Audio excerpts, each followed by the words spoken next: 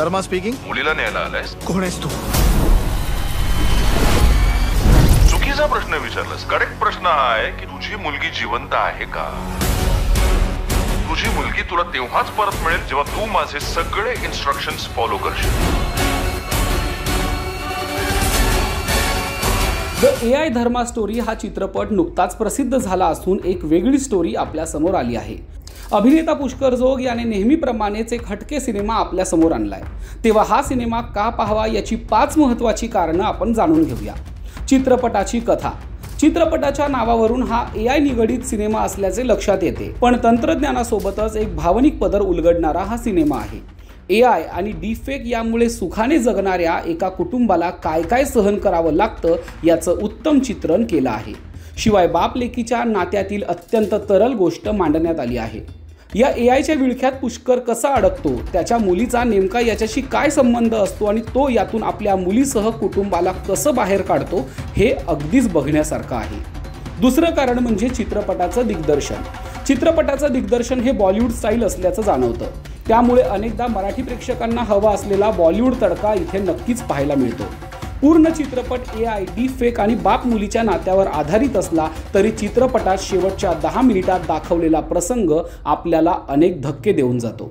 भारतात घडलेली एक डिफेक्टची घटना पुष्करला वेगळ्याच संघर्षातून जायला भाग पाडते. तेव्हा नेमकं या चित्रपटात काय घडतं हे मात्र तुम्हाला थिएटरमध्ये जाऊनच बघावं लागेल. मात्र दिग्दर्शनाच्या पातळीवर पुष्करने अक्षरशः बॅटिंग केली आहे. तिसरं कारण म्हणजे कला दिग्दर्शन आणि सिनेमॅटोग्राफी हा चित्रपट परदेशात म्हणजे स्कॉटलंड येथे चित्रित झाला आहे. त्यामुळे या जागेच्या अनेक बारीक गोष्टी तिथली भव्यता वेगळेपणा सिनेमॅटोग्राफरने अचूक टिपल्या आहेत. ज्या ठिकाणी बंदिस्त म्हणजे घरातील सीन शूट करण्यात आले आहेत ते कला दिग्दर्शकाने अगदी उत्तमरित्या साकारले आहेत. म्हणजे तिथल्या घरांची शैली स्थापत्य कलर टोन या सगळ्याचा अंदाज घेऊन उत्तम कला दिग्दर्शन साधले आहे. चौथे कारण म्हणजे अभिनय. पुष्कर जोग दीप्ती लेले स्मिता गोंदकर आणि यासह सगळ्याच कलाकारांनी उत्तम काम केलं आहे. पुष्करने तर अभिनय दिग्दर्शन आणि निर्मिती अशा तिहेरी भूमिका साकारल्या आहेत. संकटात सापडलेल्या आपल्या लेकीची सुटका करताना मनाची होणारी दयनीय अवस्था त्रागा दीप्तीने अचूक हेरला आहे. तर स्मिता गोंदकरची भूमिका सगळ्यांसाठी सरप्रायझिंग ठरणार आहे. पाचवे आणि महत्त्वाचे कारण म्हणजे निर्मिती. चित्रपटाचा बहुतांशी भाग परदेशात शूट केला असल्याने निर्मितीचा महत्त्वाचा वाटा तिथे आहे. विशेष म्हणजे हा चित्रपट स्कॉटलँडमध्ये शूट करूनही निर्मिती मूल्य कुठेही ढासळलेले दिसत नाही. या पलीकडे जाऊन या चित्रपटाकडे पाहायचं झालं तर सिनेमा परदेशी शूट केला की सबसिडी मिळते असं म्हणतात.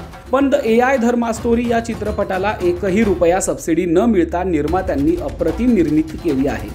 मग ते कलाकार असो लोकेशन्स असो किंवा एडिटिंग सगळ्याच बाबतीत निर्मिती उजवी ठरली आहे.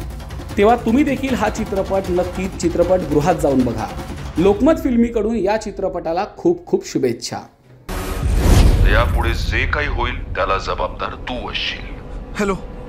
हॅलो.